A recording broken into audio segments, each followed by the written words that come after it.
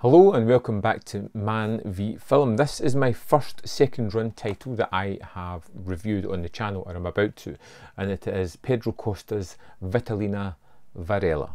And this one uh, comes down to Biffa, a, a channel member uh, who bought this for me. Uh, he loved the movie so much he wanted me to experience it, and experience it I did. This is a movie that is could be described as very slow or very methodical in the way that it's moving. It's very measured in the way it's telling its tale, and it's all about the titular character of uh, Vitalina, who has arrived from Cape Verde to Lisbon to meet her husband, who she just finds out has died three days prior. And she arrives in this country not really knowing any people and not really knowing uh, this kind of world and is trying to navigate that while dealing with the grief and loss of her husband. And along the way, she discovers lots of information about his illicit lifestyle and amongst this place. This movie is beautifully shot from its opening shot of this long, shadowy uh, alleyway as this group of people come stumbling out like almost The Walking Dead. Um, this movie kind of tackles imagery in a really stunning manner. There are lots of wonderful shots within the movie, plenty of them played within shadows. It feels like a very dark film for a country that's uh, pretty sunny and pretty bright. This feels that there is a, a, a wave of, of darkness over Vitalina and everything that she touches everything is is within eh, eh, a, a kind of dark, shadowy aspect. The way she is feeling as the grief overtakes the screen, uh, coming across it. There is wonderful kind of cutaway sequences of her husband traversing this land in an almost ghostly afterlife manner as Vitalina kind of follows his movements and discovers more and more about the, the character. Uh, there's some wonderful scenes in this that I really did love.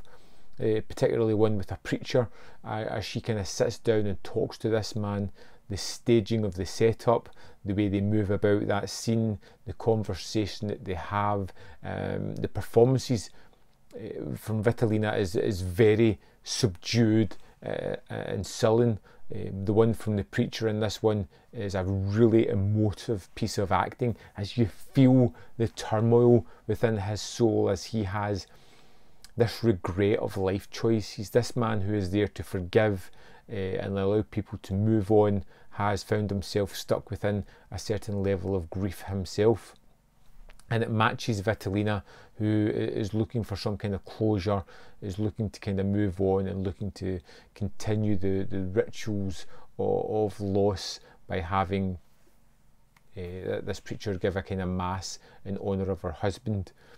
The way she's discovering information through hushed whispers or things lying about his room uh, is wonderful.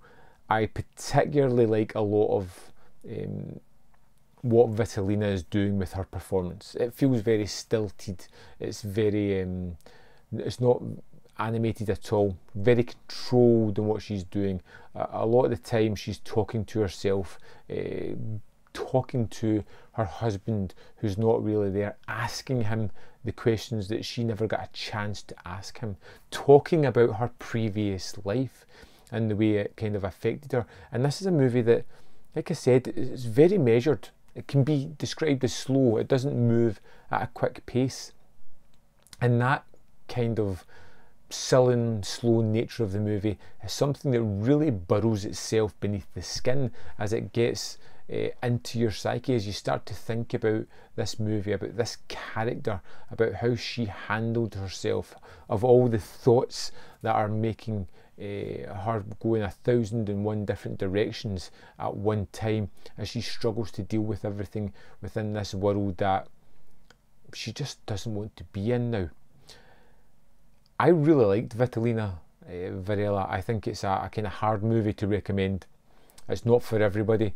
Uh, if you can connect with it in any kind of level whatsoever, I think you're going to find something there uh, that's going to come back uh, in just your regular day. You can be walking down the street and catch an image that reminds you of something beautifully shot in this movie that just makes you want to revisit it.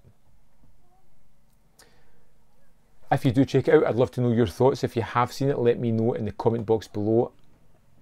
And I'll see you next time on Man v Film.